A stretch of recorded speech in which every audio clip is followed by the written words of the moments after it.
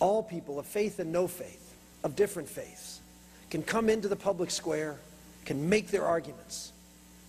I wear a band, a little wristband. It looks like a little piece of barbed wire. It's for, it's for religious liberty. Because that is the trunk upon which all other freedoms stem. And if we do not protect that,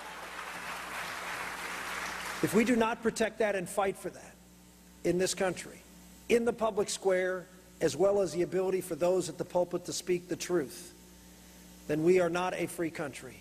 Because if you cannot speak what you believe, then why speak?